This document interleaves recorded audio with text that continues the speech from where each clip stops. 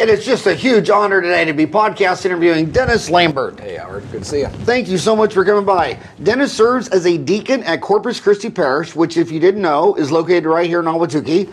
While he has retired from a nearly 30 year career in the pharmaceutical industry, his days remain quite full in his service as a deacon in the Catholic Church, in writing novels, and along with his wife, playing in a well established local band called the Little Debbie Band.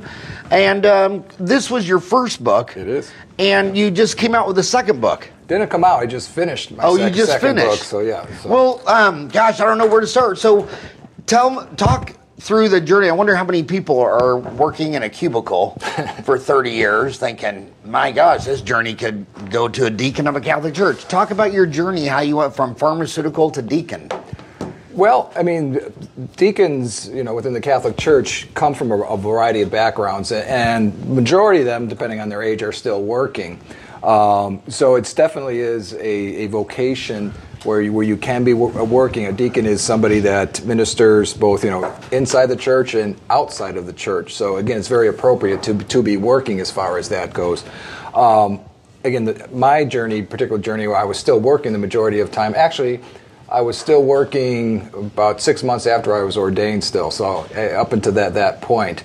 Um, and again, my wife and I had just decided that you know, as everyone can see, I'm a relatively young guy, right? Uh, so I retired a little bit on the early side, um, and that was kind of by plan. We, the Lord really provided for us throughout our lives. You know, we worked hard, but again, we were graced with, with just, just so many gifts from, from God that we sat down with our own financial advisor and determined that, hey, we could retire early. Again, we're not living fat off the hog per se, but we, we certainly can get by and be able to give back, you know, to, to serving others, serving the church and also from a selfish point of view have some more time to, to write Yeah, they always say it's um, not how much you earn; it's how much you save. yeah that's true Uh, I was really surprised. Remember, it was about 15 years ago. The book came out written by two PhD mathematicians, uh, The Millionaire Next Door.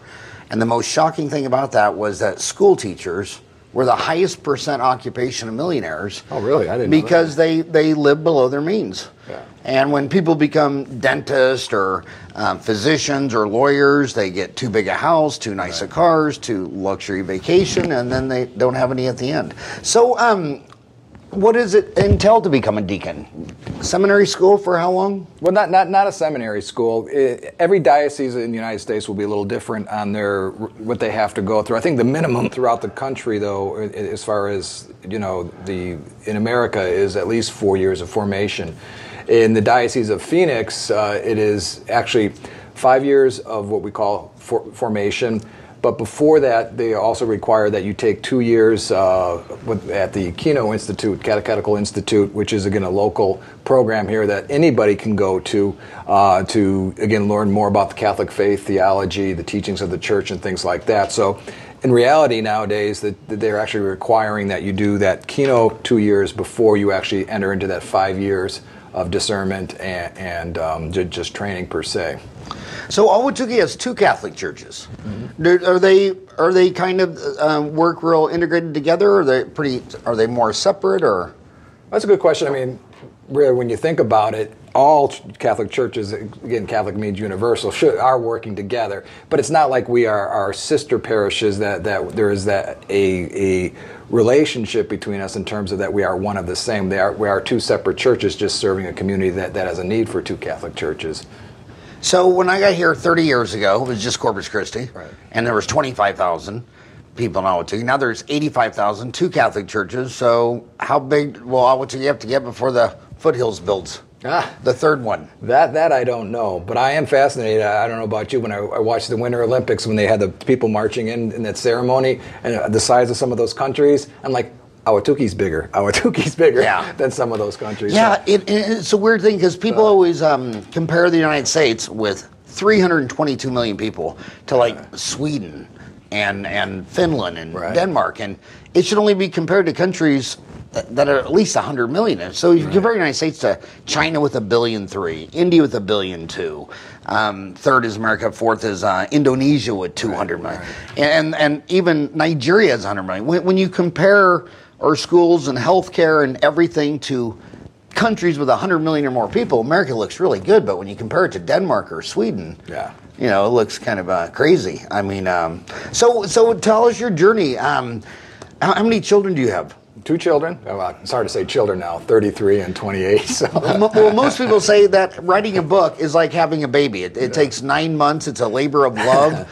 Uh, did it take Did it take as long uh, to make a baby as it did to write that book? Well, this one took. This would have been a very long-term pregnancy. But the last, the book I just finished was actually. It's kind of weird that you throw out the nine months. It was about nine months of writing. This one really was over the course of five years, and because I, again I was working at the time, so much of the the writing that that I did while I was still working was done on airplanes and while I was traveling and, and things like that. Um, once I did retire, um, I, I, had the time really to, to sit down and, and, and, finish it off, so to speak. So it was definitely a long-term pregnancy getting that one done. Just it was because of work and everything else. It's called The Table by Dennis Lambert. So talk about talk about the book and why what made you sit down and write a book called The Table. Well, I was inspired by um, a story in the in the Gospels, the story of a, of a centurion. Um, the centurion goes up to Jesus and says, you know, Jesus, my Lord, my, my, servant is sick, you know. And Jesus pretty much says, okay, let's go, let's go, I'll, I'll take care of this. And the centurion says, no, Lord, I'm not worthy that you should enter under my roof. So Jesus is blown away by his faith. And again, I'm paraphrasing some of the, the scriptures here. And said, you know, is, is, is, amazed by his faith and just heals the person, the servant, long distance. Um, so after that, after this, I, I, thought, what happened to that centurion? You know, what happened after that encounter with Jesus? Um, so I actually did a little research on that particular centurion. I mean, that's all there is in the Bible, but is there legend, tradition behind it? And there is. So I couldn't necessarily write about that centurion. But then I, I got the idea from that of, of a character of a centurion, somebody again under you know Roman rule and everything else, who, you know, we think is, people are always against Jesus. What happens if there was somebody that, that was open to the teaching of Jesus? So the story in part is the story of a centurion who, who meets Jesus, has an encounter with Jesus, and is inspired and, and turned by that event. And what is a centurion? Pardon me? What is a centurion? Oh, it's like it's a like a Roman soldier, like maybe a sergeant or something like that. Oh, okay. Yeah, yeah. Huh. Interesting. So you always had a love for church history? Um, yeah, I mean, it's all it's it's ever ever evolving as far as that goes. But it was more of this just intrigued, like after hearing this this this this gospel over and over, what happened to that guy afterwards that, that really kind of inspired the the rest of the story. So where were you uh, born and raised, and how did you get to Ahwatukee? Well, I'm from the Chicago area. I guess everybody that's in, lived anywhere near Chicago says Chicago, but not not the city. We were um, born up in northern, uh, northeastern Illinois, there by Gurnee, Illinois. Now, is that called Upper Michigan? No, the Illinois, Illinois.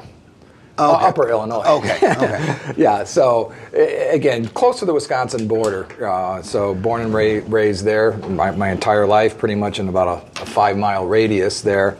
Um, actually met my wife, you know, Debbie, it, it, we were in high school. We went to uh, Carmel High School in Mundelein, Illinois, right across actually from the, the, the seminary there, St. Mary's of the Lake. And after we um, were, well, we weren't married, we were maybe we're engaged or not quite engaged. Anyways, we both visited my grandparents who lived in Tucson, and we thought, you know, someday we're going to live here, you know, and it took a, many years after that that we actually made out. We, we moved out here in 2000, and we just just love it. Yeah. Um, so, just the what the winters we're getting you.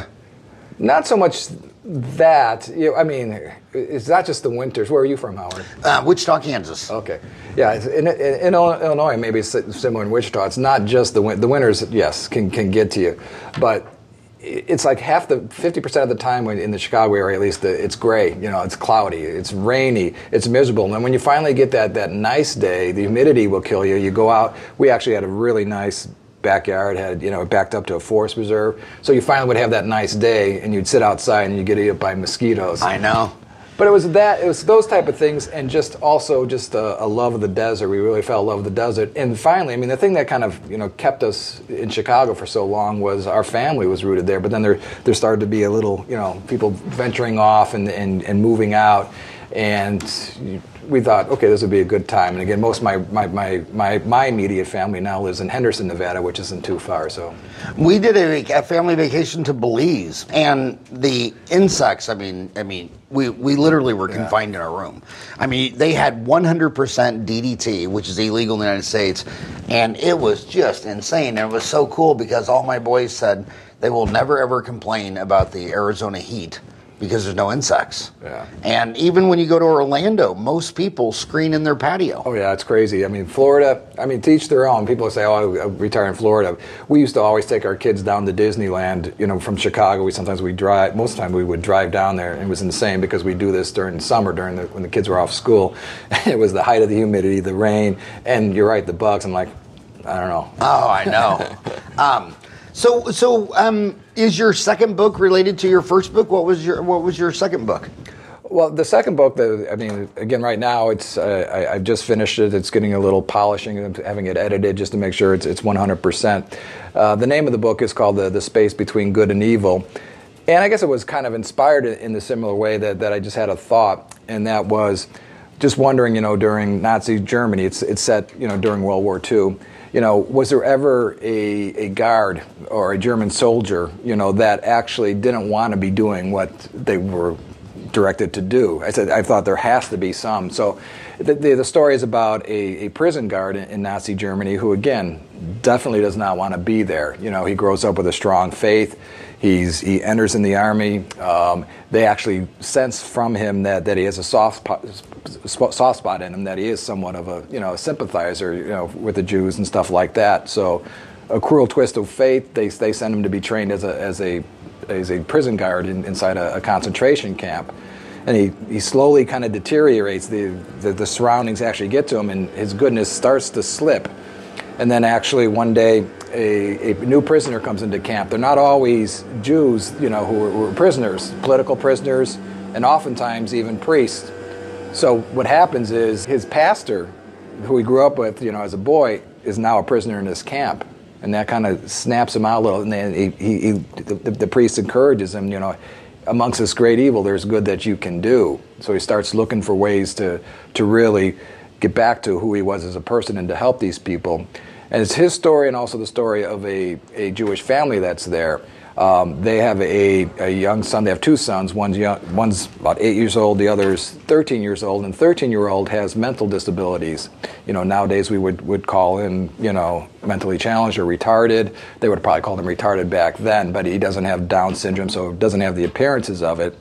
And back then, if somebody was had these mental deficiencies, they would be sent off for experiments or just to be exterminated. So they have to keep that hidden.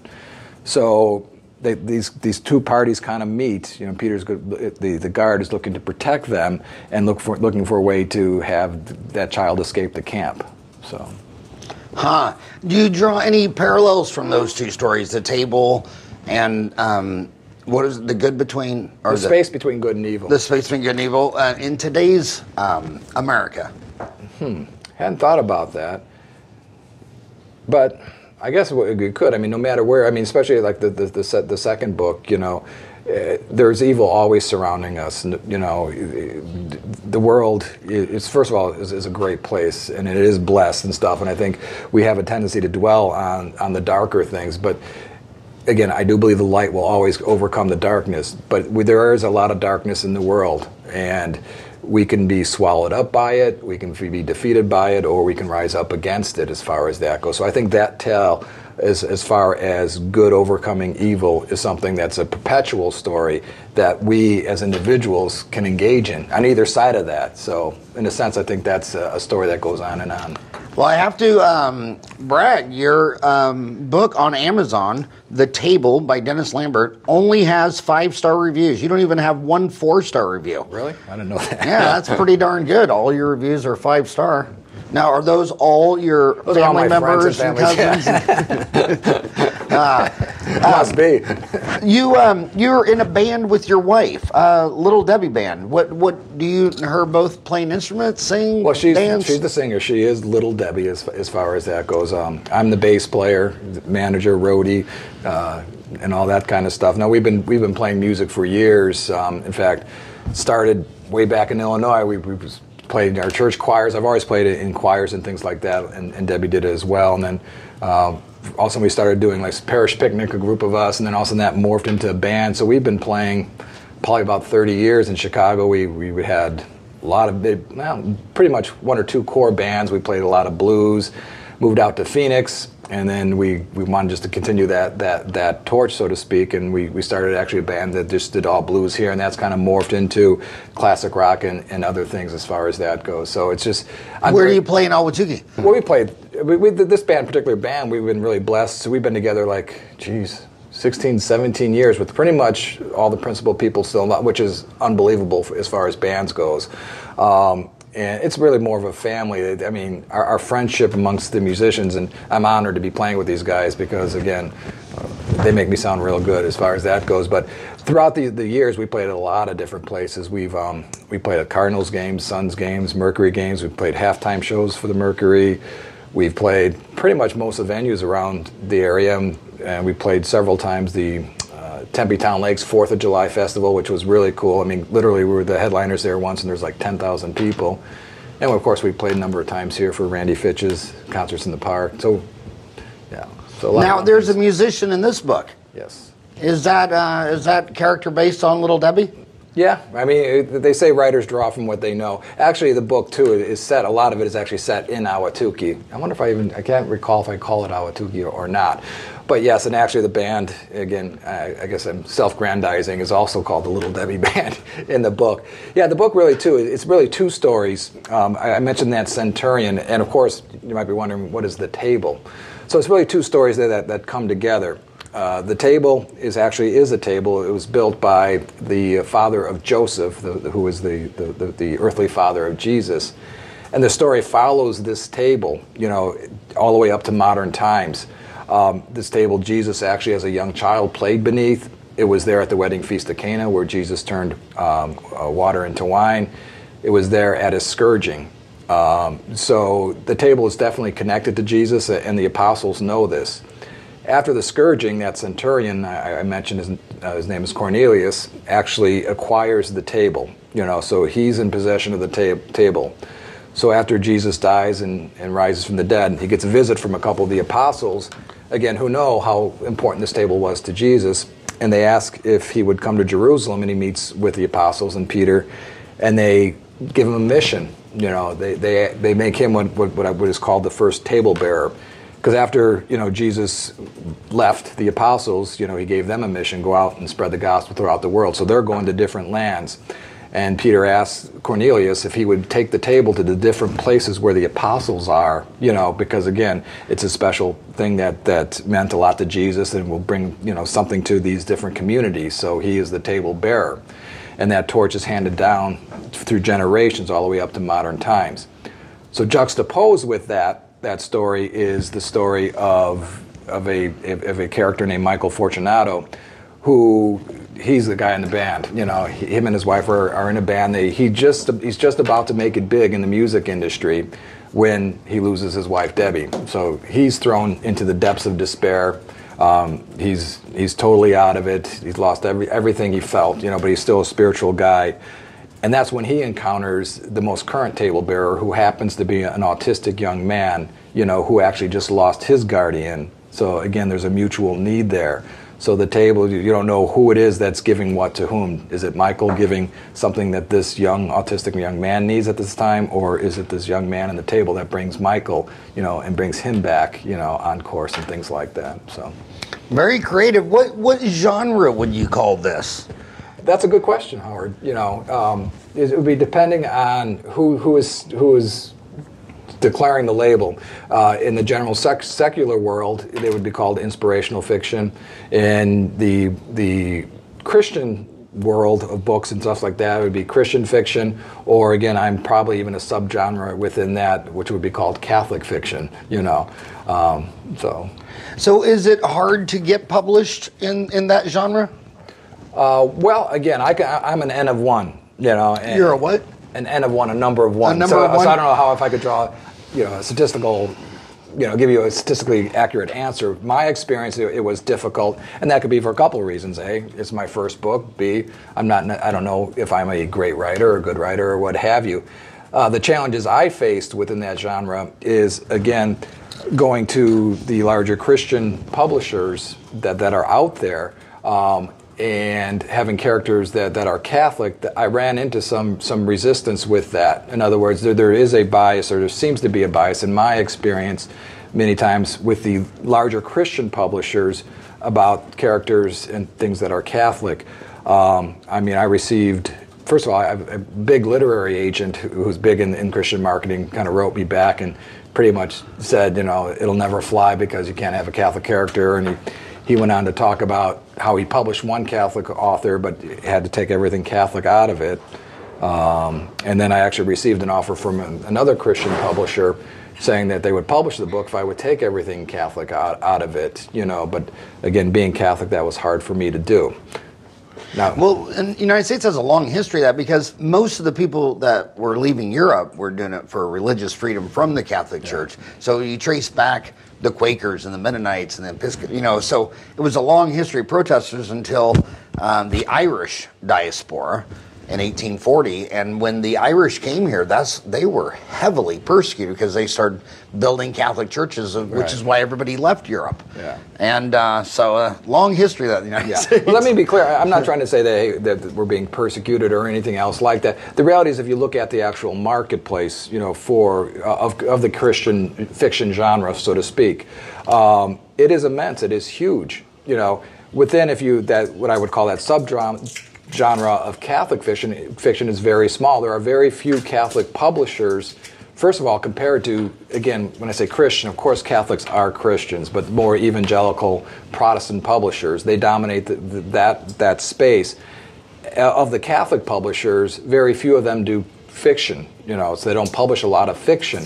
So I understand the marketplace. If again the larger market is evangelical Protestant, you know, so I understand. So I'm not trying to say, hey, I'm, I'm being picked on, but it's just a challenge that that, that I had as, as far as that goes.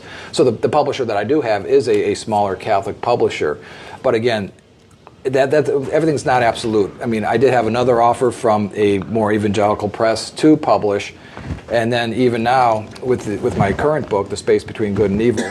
Um, I started. Th- this took me six weeks or about six months ever to get any interest, Howard. Uh, two days after submitting for my my second book, I have a, a very large uh, literary agent who wants to re- who wants to, to, to, look at the book, and it's not not an offer, but um, they they want to review it, and they are actually uh, a larger Christian-based literary agency. So again, never say never, and I'm not saying that this is a, a big problem across the board. Um, now, is there an audio version? No. You know, um, I was listening to Jeff Bezos, and he um, he said the audiobooks outsell the print. Well, yeah. Howard, you got a pretty good voice. Maybe you could. Uh... Well, I'll tell you what. Um, I, I this, this, would be. Um, I think this would take you um, five hours. But what what Jeff Bezos was saying that, you know, when people say um, um, reading is dead, he says it's moved to multitasking.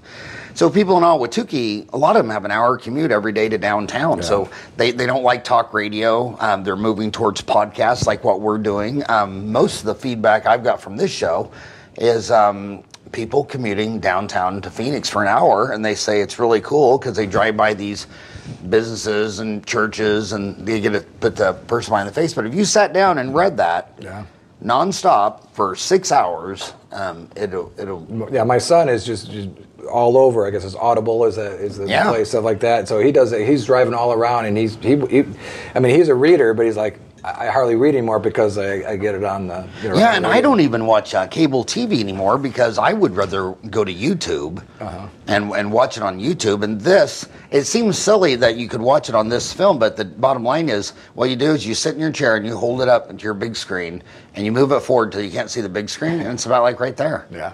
And so I just sit, sit on my patio and lean this against a bottle of water, and I'd, I'd rather do that than watch uh, TV. But yeah, audiobooks is, is a thing. So let's go back to um, a deacon. How long have you been a deacon now? Uh, just about four years. Four years. So it took you four years to become a deacon. Well, actually, five years. But yeah. Five years, and now you've been one for four years. What, what is that? What is the life of a deacon here in Ahwatukee at Corpus Christi? What, are- what are you? Okay. What are you doing? Well, d- being a deacon, first of all, there's two types of deacons. There's the, the permanent deacon, which which I am, and also there's transitional deacons. Because sometimes you know people might hear deacon. Isn't that when you're on your way to becoming a priest? And that is what a, a transitional deacon is. The last year before somebody is ordained to the priesthood. But this is totally separate. So the permanent deacons, such as myself, you know, are, we're charged universally, and then I'll get to what, what I do around here, for you know, f- to do three things. That's charity, liturgy, and the word. In other words, the first deacons that, that came about out of the early church, you know, there were seven men that, that were, were asked to, to step forward because the apostles, Peter et al., you know, were really busy preaching and doing things like that. And the charitable works of the church, they, they, they was just getting too much for them to handle it all. So they, they came up with seven deacons to go ahead and carry out that works to help the widows and things like that. So one of the hallmark things that a deacon does is works of charity. Um, then, of course, I mentioned liturgy. We, we do participate in liturgical things. You'll, you'll find us on the altar assisting the priest and at, different things. We also um, we actually baptize uh, children. We also bury people. We can we can marry people. Um, so we do have that liturgical function as well. And then the last is what we call the word. In other words, to be preaching God's gospel. Either it's you know at mass, you know, or just in our daily lives. So that's kind of what deacons do per se across the board. Um, here at Corpus Christi, I'm, I'm doing all those things. Um, I'm very involved in our men's ministry. Uh, we, have got uh, a really good program going on that, that, that, I'm kind of, you know, spiriting as far as that goes. I, am again involved with all the liturgical things. Um, within the Diocese of Phoenix, all deacons are asked to do two things to, to assist to, at everything that, that the parish needs, and then to have an outside ministry outside of the parish. For that, um, I volunteer my time with, with AmeriCare, which is a, a hospice um, organization here in the Valley. So I, I visit people that are, are in hospice uh, on a regular basis, which is a, a joy to do. Um, that's a joy to do. Oh yeah. Uh, it seems like that would be kind of a, a depressing. I mean, uh, that's Yeah. when people no longer are getting treatment; they're just sent home to die. Correct. I, I, I hear you, you know, I, I don't know why, I, because I mean, I'll hear that from a lot of people, uh, but to me, I just, I I couldn't think of anything that, that's more fulfilling. In fact, you know, I, I actually feel a lot of times, like when I'm doing this, people think I, I'm giving, you know, I'm really giving something of myself or whatever, and I feel more like a thief that I'm giving, getting more out of this. Um, because again, I think anytime we have a, an opportunity to serve, you know, whether it's for the church, whether it's for Christ, or just just doing our, our human good for the world, we get a, a great sense of accomplishment out of that. And to be part of somebody whose life, you know, to help somebody that, that is declining, that there's not that much more life, to, to be able to bring them whatever it is that God wants me to bring to them. You know, a lot of times if it's, you know, again, being Catholic, if it's a Catholic patient, um, you know, bringing them the Eucharist and things like that, it's just, again, we, we receive so much more, you know, than we could ever give. At least, at least I do. so how do you how do you find the Catholics in hospice? Is there a Catholic hospice? Or? Well, AmeriCare actually is a Catholic hospice, but I mean, not, Oh, not all the patients are, are Catholic. You know, I'm saying that. I mean, there's when I'm with a Catholic patient. is that a national company or a local? No, it's a local company. Local Arizona. Yeah. Here and they um, here in Ahwatukee or Oh, it's, it's, it's valley wide as far as Valley-wide? that goes. Yes. So what is the dep- what what is the um, thoughts usually in the last part of life? I mean, when these people are know that you know they don't have much time left, are they a lot of depression, crying? Are they acceptance? That's not or- been my experience. I've been doing this for, gosh, it's been four or five years, you know, and I don't see that so much, you know. Um, and again, just just again, this care too is not like we, a lot of times people think, oh, hospice care that that person is going to is, is dying. I mean, part of what this is sometimes we do that we go right to people we call it vigil service and, and stay with somebody who is death is imminent. But usually, you're talking about being visiting somebody for a year or, or more sometimes. You know, it, they're you know they know they, their prognosis is, is not good and things like that. But it's it's visiting that person for actually a, a longer period of time, and sometimes there's fear and things like that. But I, I guess maybe that's one of the things that that I said that I feel like I'm thieving or, or stealing is just just the being inspired by by so many of these people whose faith is strong, you know, and it's it's a blessing too for people too, just to, to help help them realize, you know, that this ain't it, and that, that that's that's true. You know, our Lord gives us such a great life in this life, and most people that I meet will say, yeah, even though we've hit some snags in our life, some dark valleys we don't want to go into, but that all in all, this life is pretty darn good, and that is a gift, you know, from God Himself. This this life is a pure gift, and if we think this one is pretty darn good, you know, and I'm definitely misquoting our Lord here, paraphrasing, you know, He said time and time again, you know, in scriptures, you ain't seen nothing yet. So the same God who gave us this life, you know, is promising us something that we can't even fathom that's better than this, you know, in the next. That brings me a whole lot of peace. And if somebody, if I can help somebody to feel that way, that that, that maybe is having a, a, tough time, again, it's just just a blessing to be able to do that. Would you say um, you've been at um, Corpus Christi since 2000, right? Uh, no, actually, when I after I mean when we moved here, my wife and I we we um, we, we went, we're at St. Timothy's in Mesa. Um, again, music tied into that too. When I was living in um, Illinois, my wife and I, we, our parish was uh, St. Paul the Apostle in Gurnee, Illinois, and, and, I was playing in the choir. You know, um, and we used to play all this music from the guys at St. Tim's. You know, so when we went when we moved here, we said, well, where is St. Tim's? It wasn't that far away. And St. Tim's is really well known for its music. I mean, um, I played with Tom Booth, who's who's written, who's who's world known. He's Played played uh, was commissioned by the Pope to write a song. That led to uh, Matt Maher, who now has been nominated for six or seven Grammys. You know, and here these guys are, and I'm playing with them. You know, as far as that. So, so that was a wonderful experience. Um, but the, there was a need here at Corpus Christi. You know, they were getting short deacons, and the bishop asked if if I would move over here. Um, Bishop asks, you know, it, and that's that's another. I mean, it was such a blessing to be asked. I mean, we were so happy at St. Tim's, you know, but it wasn't like, you know, kicking and screaming, I don't want to leave. Just the the ability to to be obedient is a blessing. I don't know if that makes sense to you or, or whatever, but to be asked, you know, by the bishop to do something, you know, it, it was it was just you know actually a wonderful thing. And long story short, you know, again, we did not come over here kicking and screaming, oh, we don't want to come. You know, it's like, this is where the Lord wants us, this is where we'll go. And bottom line is, uh, I've learned that the bishop and the Holy Spirit know a whole lot better what's better for me and my wife because we just love it at Corpus Christi. You know, we, we, we're very, very blessed. So, how long so I've been, been here, yeah, Corpus about a year and a half now. Year and a half? Yeah. Would you say um, the priesthood is and deacons are growing or flat or declining? Well, I'm not an expert per se on that that topic. Um, again, the priesthood and the diaconate are definitely two separate things. You know, I know that we are getting a lot of vocations here out of the Diocese of Phoenix for the priesthood. Really? Um, yeah, so I can't quantify it, you know, Yeah. or, or whatever. My sense is, though, that, that, that we are, are growing here as a diocese in terms of, of vocations. Certainly, we could always use more as far as that goes. And the, as far as deacons goes, we definitely have a, a very healthy group. I think nationally we may have, I, I, again, I don't know this for a fact, but my sense is we may have a, a pretty high ratio of deacons, you know, or number of deacons relative to other dioceses too. And the, the, the Diocese of Phoenix, their their diaconate formation program is, I think, recognized throughout the country as one of the best. I know the guys that run it. Uh, Deacon Jim Trent um, and, and, Deacon Doug Bogart are constantly, you know, being asked by other dioceses for information on how we form deacons here and things like that. So it's going pretty well.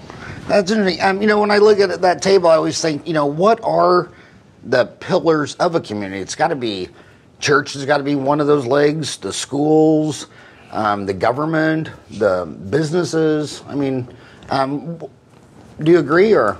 Oh, I certainly agree. Yeah, I mean, it's hard to disagree with those. Of course, I'd go strong on, on that that faith church part more than anything else. I think if you have that, all the other pieces will fall into place the way God wants them to. If that's absent, then there can be troubles on those other legs.